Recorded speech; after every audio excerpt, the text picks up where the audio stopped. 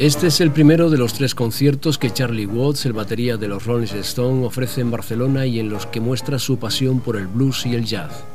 El legendario batería inglés, que ya estuvo hace unos años en el Jazz Room acompañado por una formación de jazz, llega ahora a Barcelona con su proyecto de blues y boogie, en un homenaje a los orígenes del rock.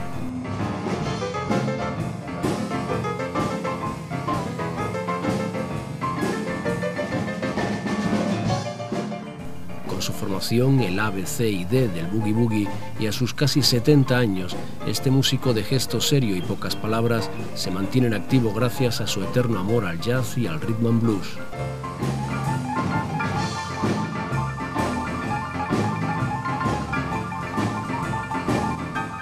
Charlie Watts, historia viva de una banda que pronto celebrará su 50 aniversario, un hito sin precedentes en la historia del rock, ha sido siempre un músico muy vinculado al jazz, como lo demuestran los dos álbumes sobre Charlie Parker, mito del género, que ha grabado con su quinteto.